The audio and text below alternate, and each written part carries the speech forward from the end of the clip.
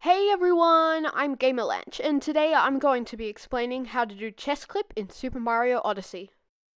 I could not find any tutorials for this glitch, or at least any I found explained it really well, so I decided to create a tutorial that is, hopefully, easy to follow. Keep in mind that this glitch is fairly difficult. First of all, what is this glitch? Chest clip involves getting on top of this chest in Cascade Kingdom, opening the chest, and moon clipping to get through the roof. Chest clip is performed in Darker Side, Any Percent, Minimum Captures, and other speedruns of this game. It is slightly faster than grabbing the moon on the cliff. It utilizes moon clipping. Moon clipping works because when you backflip and throw your hat, your angle gets skewed. If you do this but are in a moon as it spawns, and throw your hat just before it spawns, it puts Mario inside the wall or ceiling. This glitch is also the backbone for the nut clip and snow clip. But chest clip is, in my opinion, the easiest of the three to perform.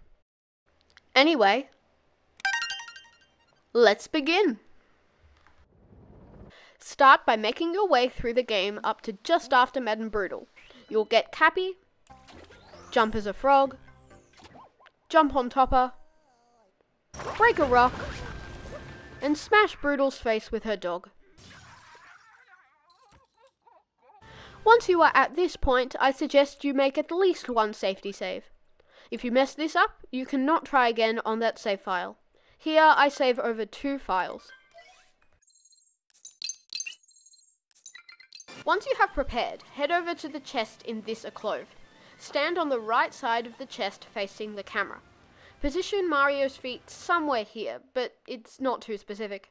I suggest standing like this. What you're going to do is throw Cappy, which will break open the chest, and backflip as soon as you land on the rim of the chest. There are a few ways you can time the next part. You're going to want to throw Cappy just before the hitbox of the moon spawns, which is about here.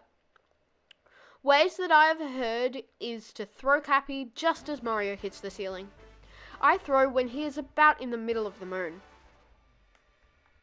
Either way, once you have performed the clip, Mario will be between here and here. It is better to be higher up than lower. In this clip, I have performed the next step. Mario's feet are below the ceiling, but in this one they are not. How high you end up in the ceiling depends on how late you threw the cap. Anyway, hold slightly up left and mash cap throw, or time it as soon as you have control of Mario. Do a cap throw and cap mount, and you should make it above ground. Then just activate the Odyssey. Here is the chest clip in slow motion.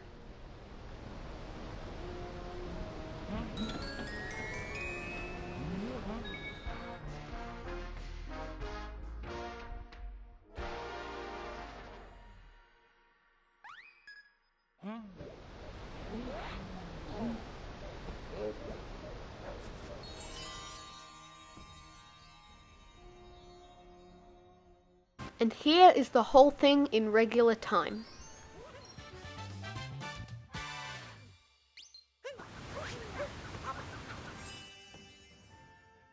This glitch is fairly hard.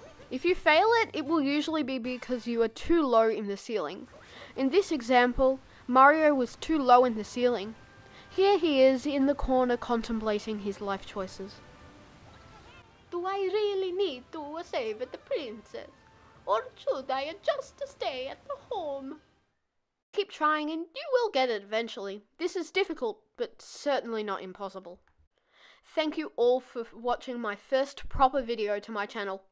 If this video reaches 100 likes, I will create a tutorial for Dino Skip, which skips the 2D section in Cascade Kingdom. Remember to like and subscribe, and turn on the little bell thingy to be reminded when I upload something. I am so excited to be sharing stuff with you all. If you have stuck around to this point, I congratulate I congratulate you.